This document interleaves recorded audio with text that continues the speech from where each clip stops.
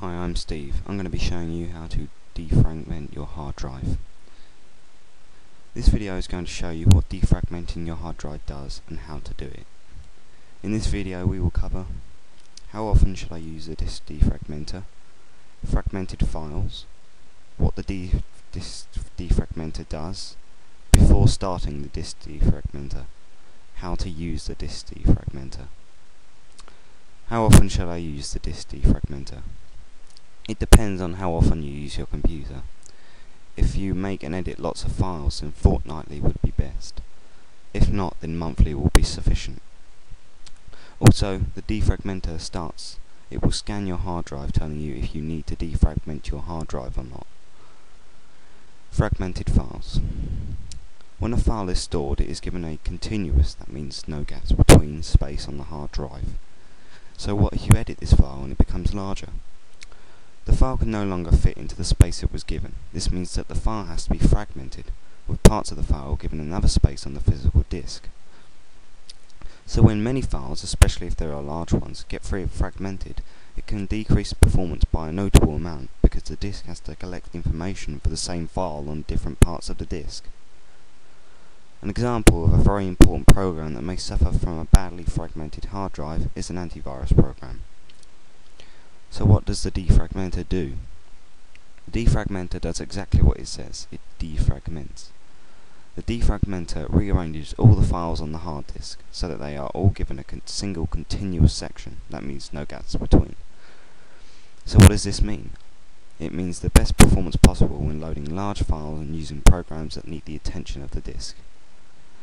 Before starting, before starting, we need to run your computer in safe mode. This is because the defragmenter requires the complete attention of the hard drive and any background programs that you may have running and will result in a faster and more effective defragmentation.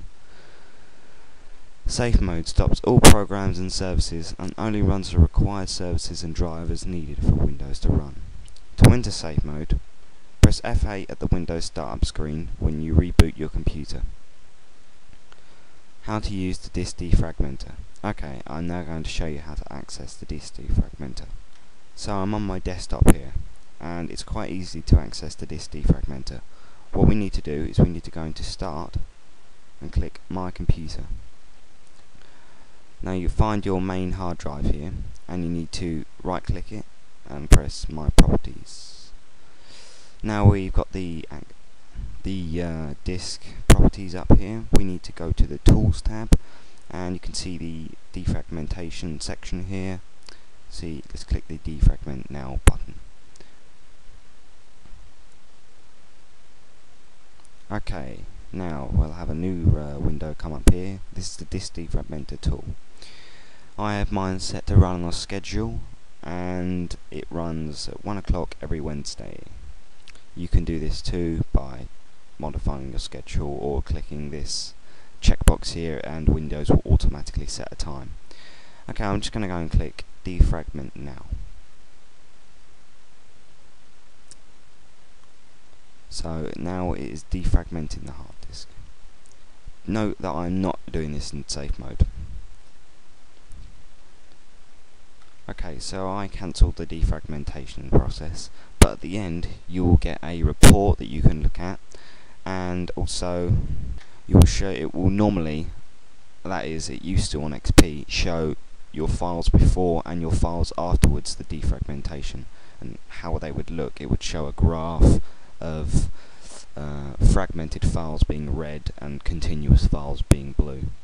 But that's how to use the defragmenter and thank you for watching this video Okay, so if you like this video, go to www.wizardcreations.co.uk where you can find tutorials just like this one.